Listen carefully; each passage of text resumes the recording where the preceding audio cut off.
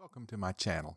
This video is going to be a little different because you're not going to look at my face, but we're going to look at some data on COVID together from Our World in Data. Our World in Data aggregates information from a variety of sites around the world. I want to look at data regarding these six countries South Korea, India, Japan, South Africa, the United States, and Australia. I've chosen these because they represent different types of population, different population density.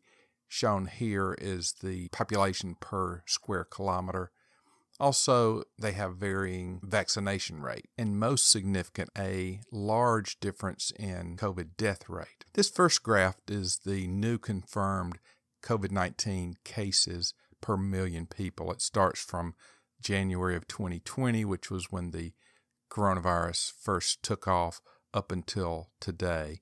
Now, I'm going to move the slider to spread this a little bit, but you'll see that the largest spike in this data set was in March of this year. We're going to get to the current death rate per million, but before we do, I want to look at the current variants that are circulating in each country, as well as the current vaccination rates. These are the variants that have been sequenced as of November 21st. I did not go all the way to December 5th because several of the countries have not reported at this time. But looking at the six countries that we want to discuss, Australia is having about a third of BA5 still, a third of the another BA2 variant, and then about 20% of the BQ variant. South Korea, interestingly, is having mostly BA5. South Africa is having the same, 80% of BA5. Japan, BA5. Now, the United States is seeing some BA5, but is almost equal parts of the Omicron BQ1, and that is increasing. And in India, the XBB is the almost universal virus that is circulating. Okay, so looking at vaccination rate.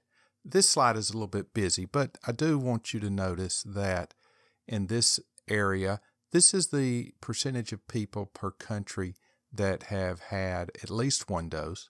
In the lower left is the percent that have had uh, the percent that have had a complete initial protocol. So that would be either one or two of the doses, depending on which vaccine.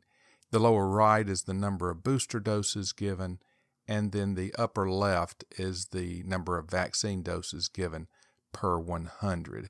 So we can see currently that Japan has administered almost 290 doses per 100 people of population. The uh, lowest would be South Africa with only 63 per 100 population.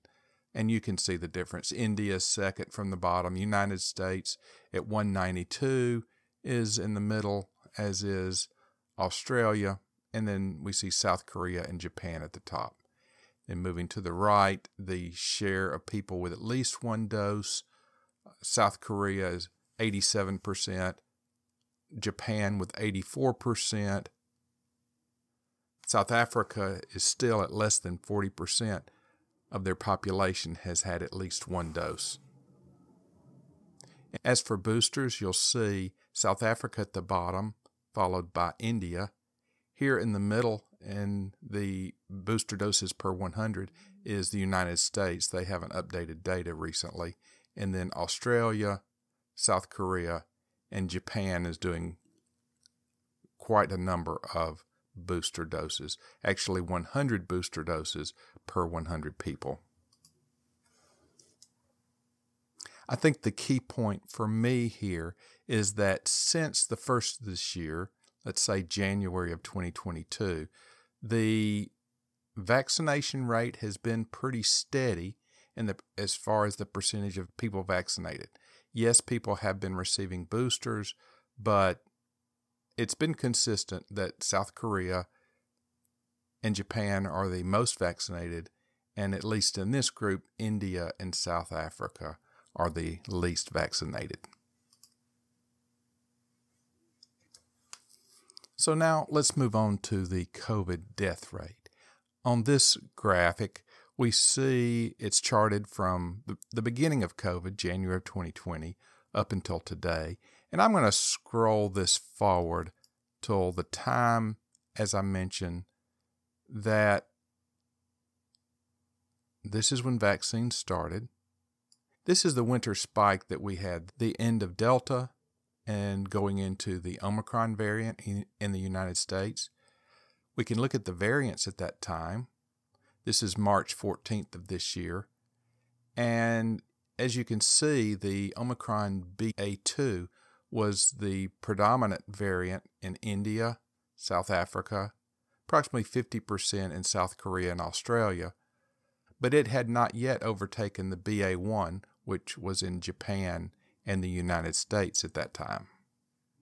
But if we look back again by January of 2022, South Korea and Japan had a very high vaccination rate, which has not changed much.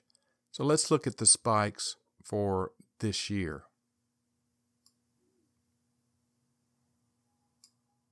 I moved the slider up to just look at the numbers for 2022. Australia did have significant for them bumps in death rate in January and again in July going into August.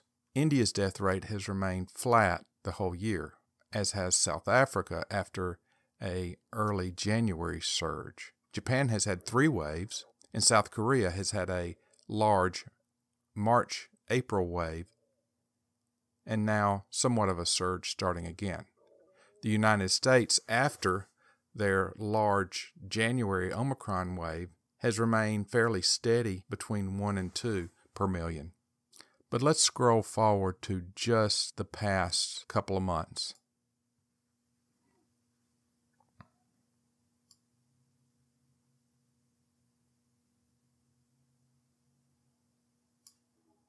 And this is the thing that confuses me that I, I would like an answer to.